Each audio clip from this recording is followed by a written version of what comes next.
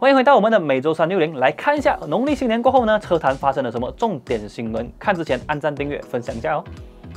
第一则新闻，根据消息指出呢，Prodo Ativa 即将迎来升级版本，配备上面会有一点点的升级。据说啦，这一个 Prodo a v a 的升级版呢，会采用这个一点二公升的涡轮增压引擎，还有七速的双离合器变速箱。OK 啦，以上只是我吹吹，这一次只是属于小改款升级，所以它的外观设计方面呢，并不有太大的改进。我预计呢，它可能会导入这个日间行车灯来提升一下外观的质感。除此之外呢，它主要的改进就是在这个内装的部分呢。其实，在 Prodo Ativa 的内装设计部分呢，是非常的好看的。但是的问题就是在于它的这个触屏主机虽然讲很大，但是并不支援 Android Auto 跟 Apple CarPlay。但是随着 L 站已经采用了这个系统，所以呢，根据小道消息指出呢，这个 Ativa 的升级版本呢，它也会更换这个触屏主机，让它支援 Android Auto 跟 Apple CarPlay。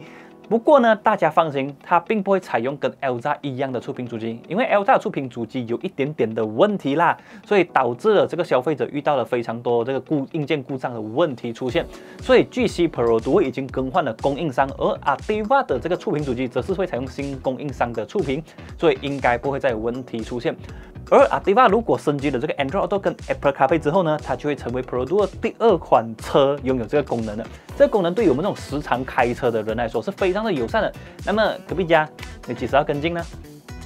第二则新闻同样也是一款国产 SUV 的消息，也就是目前最畅销的 Proton X 五十呢，也会在这个今年的八月迎来小改款车型。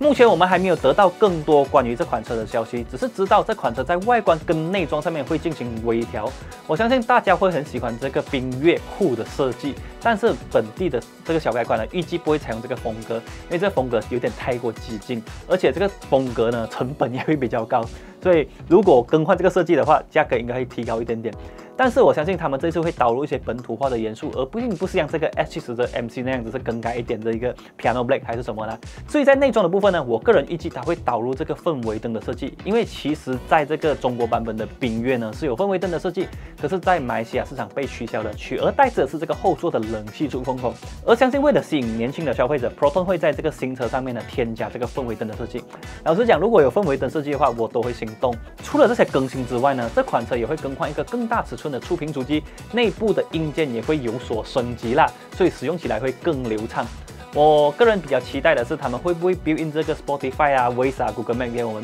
不过其实这些是有点技术困难性啊，我们就看未来原厂如何解决。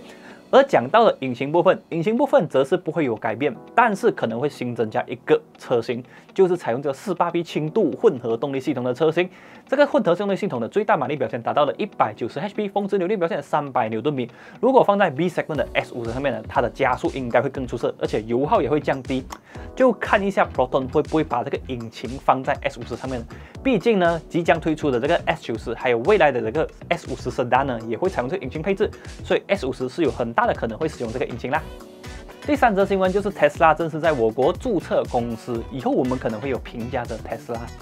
其实早在二零一七年，Tesla 就有在本地注册了一间公司，但是当时公司的主要业务呢是在这个 service 服务，而不是在贩售车子。但是最近 Tesla 更换了这个公司的名称，变成了 Tesla s e r v i c e 而且它的服务变成了卖车。这个也意味着 Tesla 即将进军我国市场。其实 Tesla 早已经在我们的邻国新加坡还有泰国设立官方的直营店。我相信以目前马来西亚的这个电动车发展趋势呢，Tesla 要来也是合理的。而且如果 Tesla 来的话，那个车的价格会获得大大降低，而且会有官方的无人地。另外呢，你要添购一些额外的配备，例如说这个 FSD 等等，也是可以买得到。目前这个 Tesla Model 3在美国最便宜的版本大概是十七万令吉左右。如果引进马来西亚市场，卖一个二十万到二十二万令吉，我相信绝对会是爆款的车型。但是目前还没有太多的消息啦，我们就期待一下 Tesla 会给我们什么惊喜。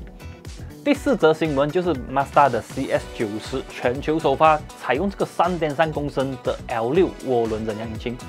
CS 九十可以被看作是 CS 九的替代款，而且这款车比起 CS 九更加豪华。首先，它更换了这个后轮驱动的平台，车身尺码会比起 CS 九更大。另外呢，它的外观设计跟内装设计呢都非常的豪华。你可以看出，其实这款车的主要对手已经变成了这一个 Mercedes 或者是 BMW 的车款，Mazda 这一步棋真的下得很大。在内外观的设计部分呢，你可以把它看作是放大版的 CS 六十，在内装部分则是放大版的 CS 六十。虽然讲有点套娃的成分在，但是它的质感设计真的是很出色。而这款车还有一个重点，就是在它的引擎，它采用了一具全新开发的3.3公升直列六缸涡轮增压引擎。OK，涡轮增压哦，Mazda 终于来一个很不错的涡轮增压引擎了，马力表现也极为出色，最大马力表现达到了340 HP，峰值扭扭表现500牛顿米。这个引擎的动力数据呢，基本上已经可以媲美这个么 B&W 的 B58 直列六缸引擎，虽然讲排气量大了 300cc，可是我觉得。对于买得起这样子车的消费者来讲呢，他们还是不会介意的。另外，匹配的变速箱则是为全新的八速自排变速箱，而且有 All-Wheel Drive 的系统。这款车其实最大的问题就是引擎排气量太大。如果有一天真的引进马来西亚市场的话，单单这个 Root Tax 呢就会非常非常的贵了。只是目前我们还不知道这个 CS 九十会不会有本地市场的规划。我们所知道的就是这个 CS 六十会引进马来西亚市场。大家觉得这个新一代的 Mazda 你喜欢吗？欢迎在影片的下面留言给我们知道。第五则新闻是那些很喜欢 MPV 的老板呢，最期待的就是全新一代的 Alpha 确定会在今年发布。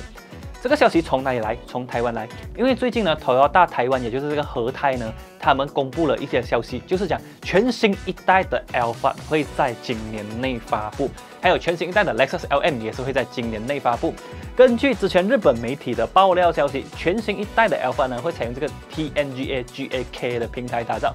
也就是跟这个 Toyota 香纳一样的 MVP 平台，另外呢，哈车身尺码也会进一步的放大，轴距超过三千 mm，车长超过五千 mm，带来更大的空间表现。同样的外观设计会非常的惊艳，非常的有气势。可是有一个不是很好的消息，就是 Toyota 会把这个 Alpha 还有 Willfire 的这个车型整合，以后可能不会有 Willfire 了。